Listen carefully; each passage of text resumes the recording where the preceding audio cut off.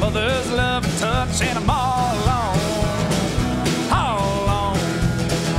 I left home when I was 14, sick and tired of getting beat, all alone. All alone. It ain't easy when you're 14, trying to stand on your own two feet, and all alone. All alone. Well, the world, Uncle's dairy. Sometimes went to school, but I